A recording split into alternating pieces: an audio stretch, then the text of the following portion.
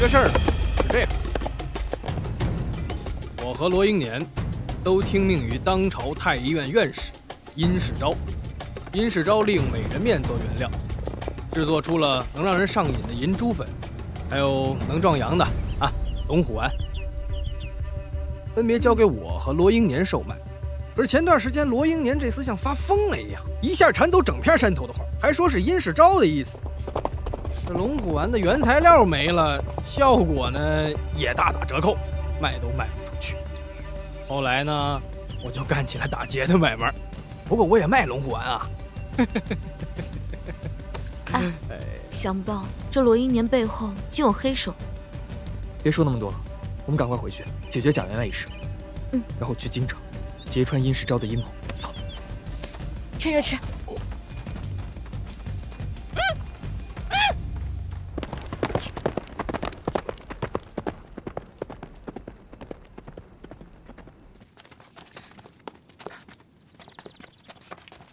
英英，不要胡闹了。我知道你们要提审重犯，可是你们有没有想过，如若判了林香儿死刑，最后又有证据证明她是无辜的，那你这父母官又有何颜面面对你的子民？此话何意？没错，是我偷了令牌去了大牢，我带一华去见了林氏，他说了他是被冤枉的。一华和云归也已经去寻找救他的证据了。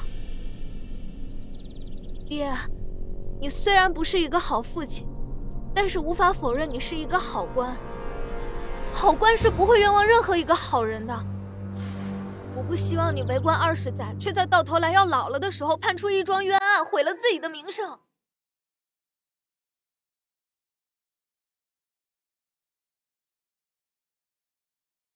大人。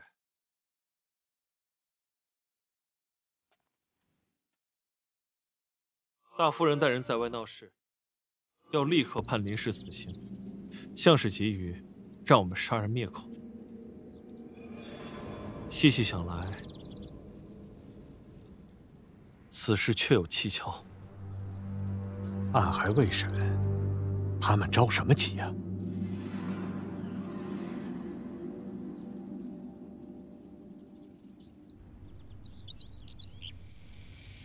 都知道裴大人。是出了名的公正廉明，难不成这次要包庇那小贱人不成？都已经证据确凿了，岂有容后再审的道理？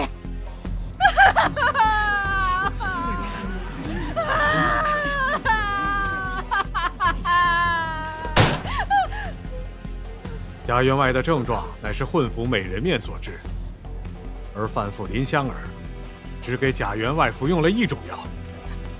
那么，另外一种药又是从何而来？本官认为这才是重点，需要查个清楚。亦或者，等到贾员外清醒之后，亲自听他讲述一遍案情，再做定夺。照这么说，大人是要包庇那贱妇不成？这所有人都知道。现在我家老爷昏迷不醒，生死未卜。那依大夫人所言。您是断定贾员外已经醒不过来了，是吗？当然不是了，我当然希望我家老爷长命百岁。但哦，这么看来，原来是场误会。我还以为大夫人您巴不得贾员外就此长眠，然后杀了林香儿，好独占家产呢。你血口喷人！不可咆哮公堂！大人。我有方法能够让贾员外苏醒，到时候真相便能水落石出了。休想！你们已经害过老爷一回了，还想再害一回吗？啊，大人，他们这是要害老爷呀！你可不能由着他们胡来呀！大人，我愿以性命担保，请大人让云归一试。哼，你的命有我家老爷的金贵吗？夫人，若你愿意让我一试。你家老爷的性命自然是无忧，但若你执意不肯，倒不免让旁人心生怀疑，觉得夫人您心怀不轨。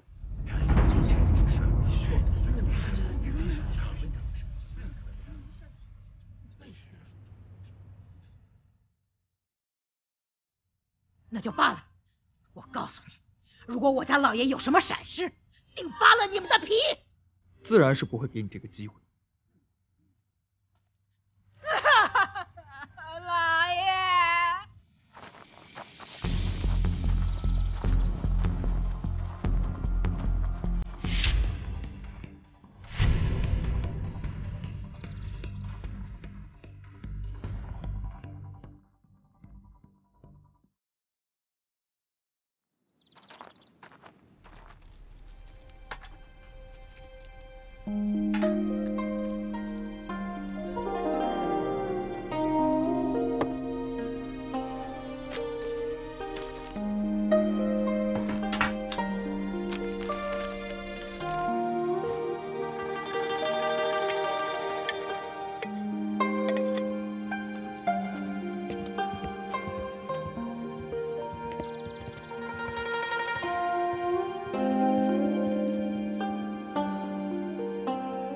这药不太对啊！啊，这是易华大夫开的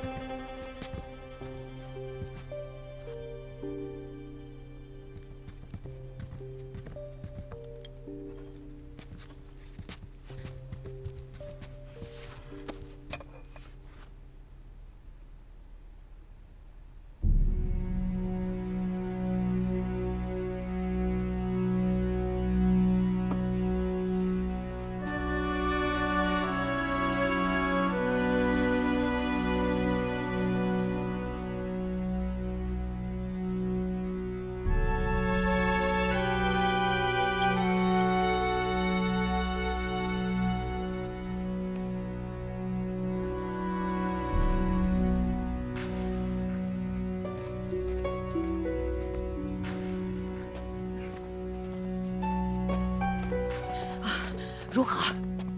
老爷他吐了好多黑血啊！啊，简直岂有此理！大人，这下你该相信了吧？那两个人就是杀人灭口，他们这是要害老爷呀！那吐完黑血之后，可有苏醒？回大人，却却实醒了。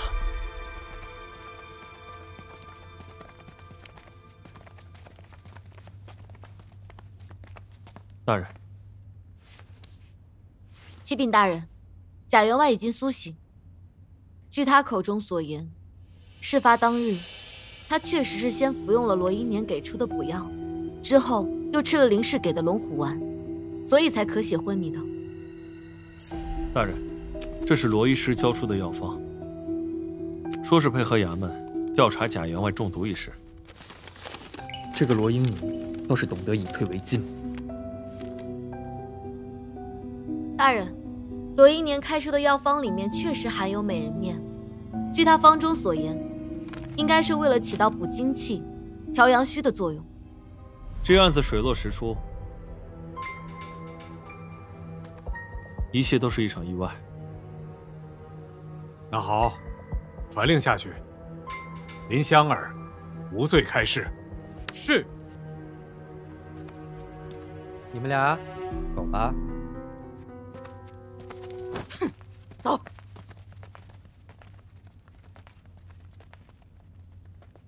谢谢。谢谢。谢谢。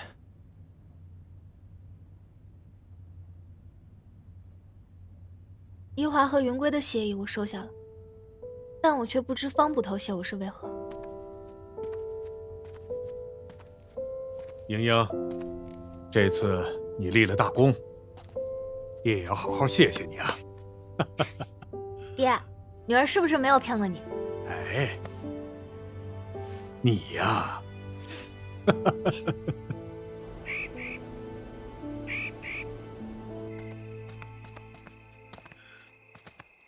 我们这样不辞而别就走，真的好吗？只是出趟远门罢了，道别的话反而显得矫情。嗯，走吧，趁天色未亮出发，明天正午时分便能抵达驿站。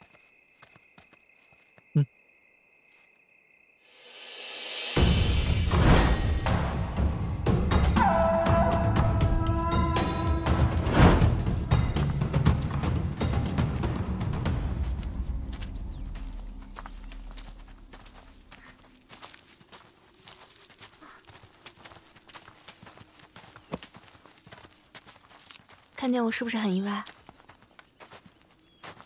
你身为县令千金，何苦跟我们淌这趟浑水？真心喜欢一个人的时候，无论你告诉自己千百遍要放弃，但只要你看见他站在那里，还是会忍不住的被他吸引。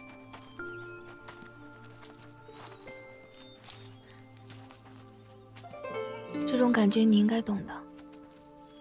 对吗？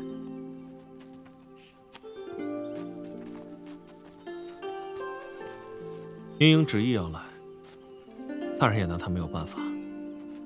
那你呢？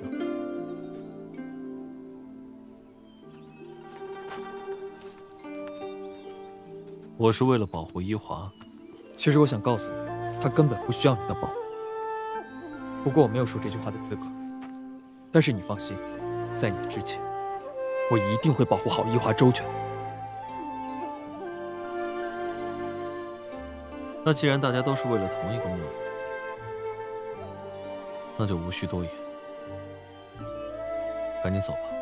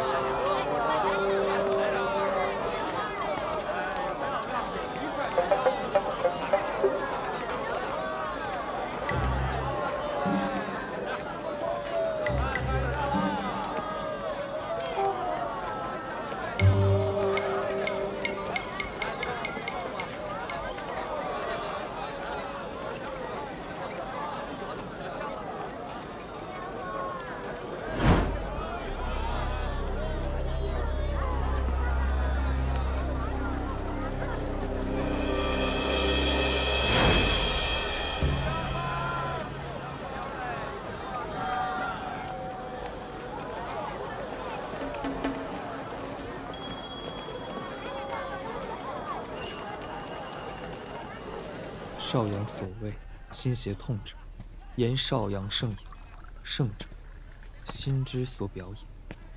九月，阳气尽，而阴气盛，故心胁痛。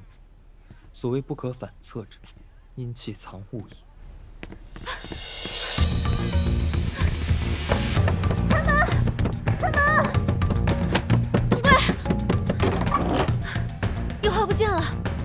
下楼去找小二拿床被子，上来以后就没有见到人，就只剩下了这个。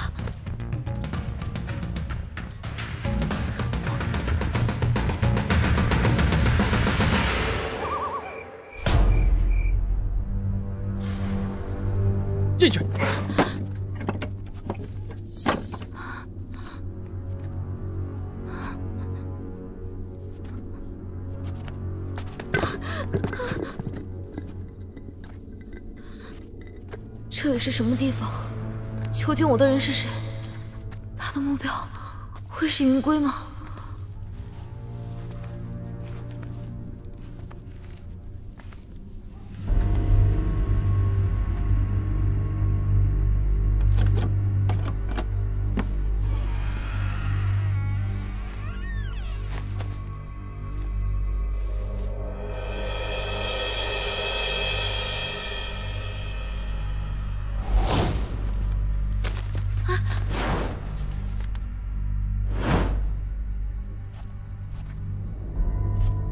世昭。哟，你竟然认识我，有点意思。我不仅认识你，我还知道你跟罗英年狼狈为奸，利用美人面的药性，谋取暴利。你这等行径，根本就不配医者之名。小丫头，你还是太年轻了啊！比起那源源不断的利益，什么都不值一提。呸！如此罔顾医德，你根本不配当医师。你说对了，我和罗一年都是被逐出师门之辈，我们早就不是医师了。所以，不要拿你那满口的仁义道德来绑架我，没用的。至于你，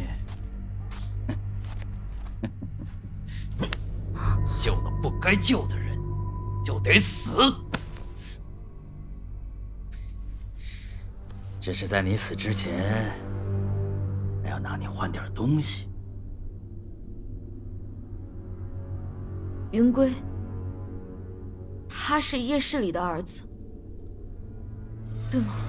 你都是要死的人了，让你做个明白鬼也罢。没错，云归就是叶相，叶氏里的独子。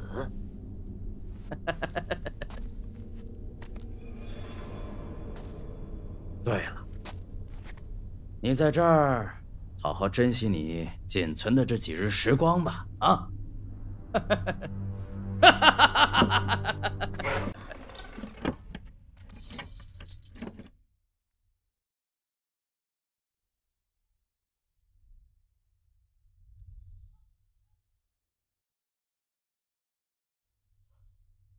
针线包遗落在客栈里，眼下也没有防身的武器。这该如何是好？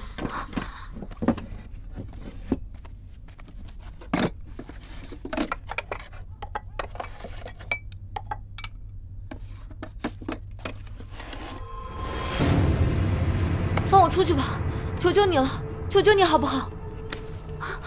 别做梦了，赶紧趁热吃吧，吃一顿少一顿，过两日就上路了。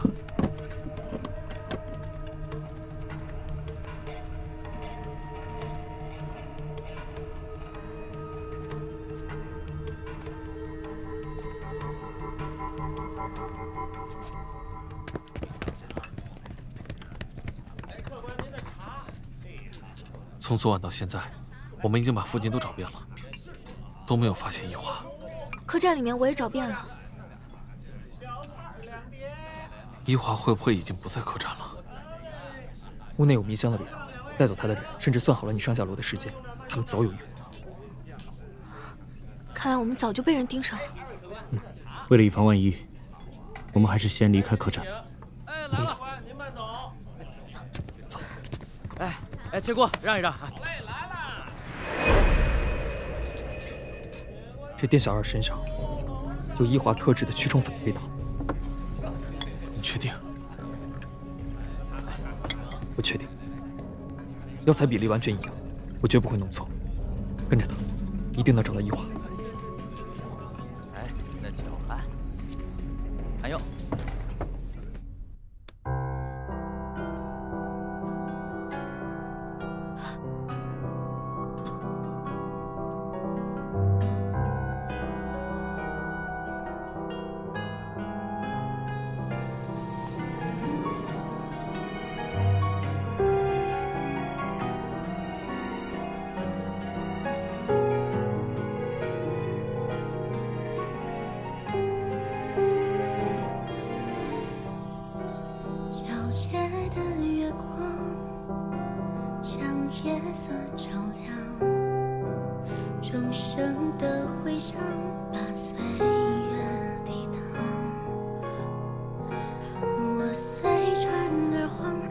水中淌喧嚣的过往嬉笑怒骂登场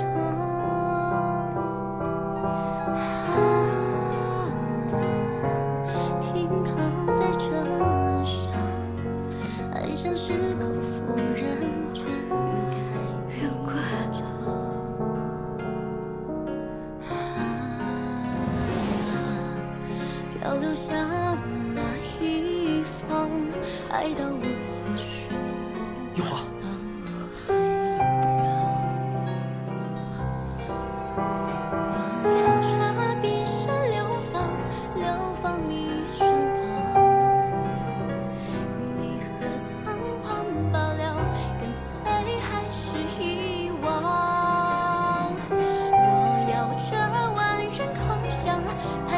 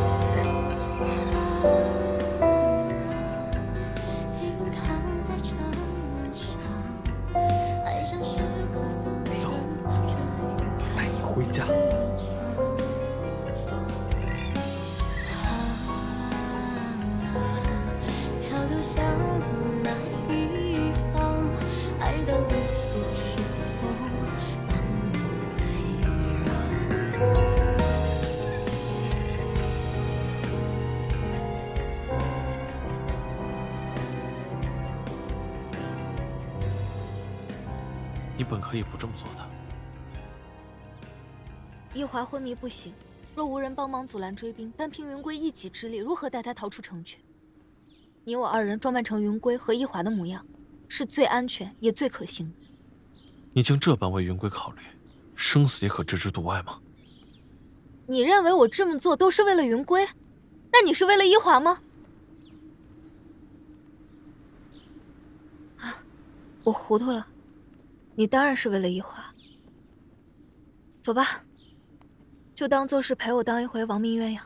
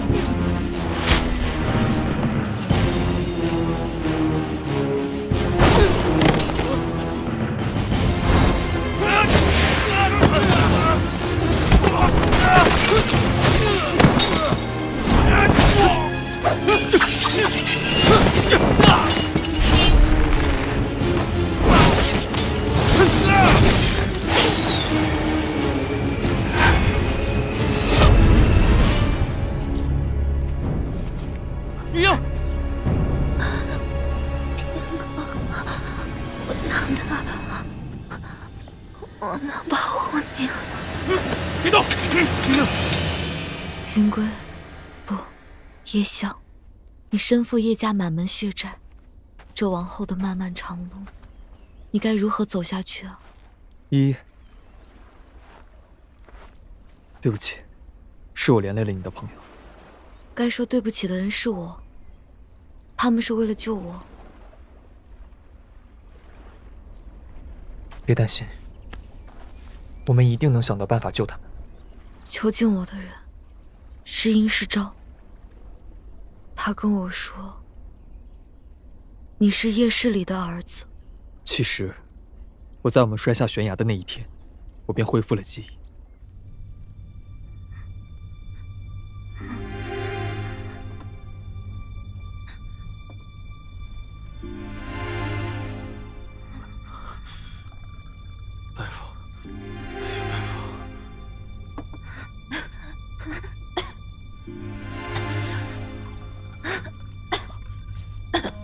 英英，英英，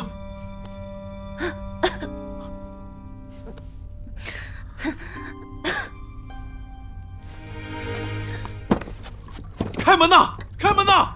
他伤得这么重，我请大夫如何能行？别得寸进尺啊！给他包扎止血，已经是我家主子大发慈悲了。你搞清楚自己的身份，想什么呢？可他伤得这么重，他会死的。那就看他自己的造化了。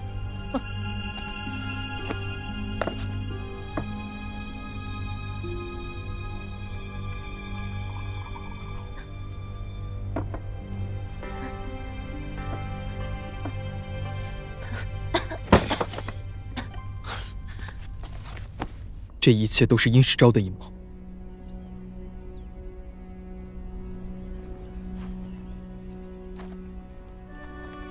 竟有人能够为了利益，灭绝人性至此。依依，京城这个地方远比你见到的模样残酷百倍，那茵茵和成天岂不是更加危险？所以我们一定要赶紧想到办法救出他们。那现在我们唯一的方法，只有去告御状了。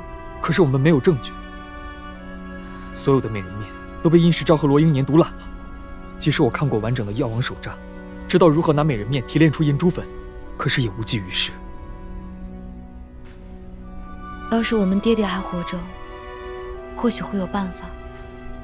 玉华，还有一个人能帮助我们。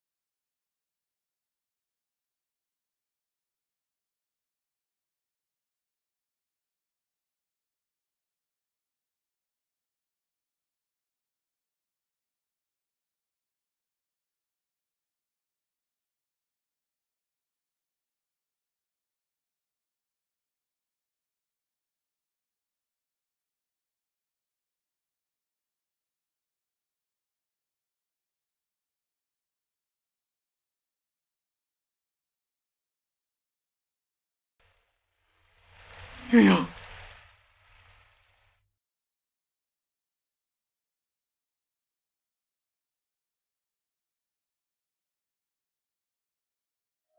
别走开，精彩在后面。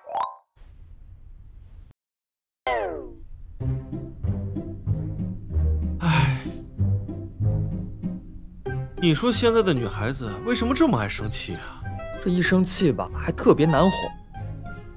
那倒也没有，比起裴莹莹来说，还是你的伊华更爱生气一些。伊华呢，只是嘴上逞强，内心呢柔软着呢，哪像你们家裴莹莹那个丫头有两副面孔。你看着，婚前越是娇气的小公主，婚后一定秒变母老虎。呸！要说两副面孔。还是你更胜一筹一些。虐妻一时爽，追妻火葬场。